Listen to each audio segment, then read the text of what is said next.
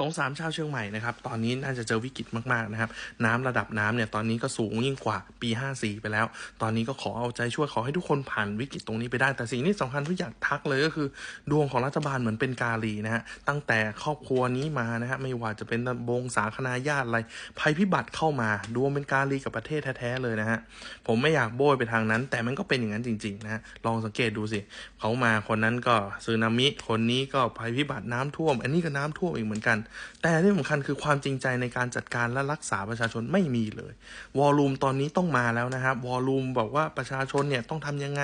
ออกยังไง ดูแลยังไง ตอนนี้เป็นประชาชนดูแลตัวเอง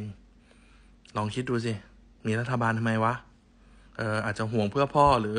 เงินดิจิมอน หรืออะไรก็ไม่รู้ละเออ แต่ประเด็นคือตอนเนี้ย คนต้องการเอาตัวรอดแล้วอะเออ น้ำตอนนี้ไปทั้งภาคอีสาน ภาคเหนือ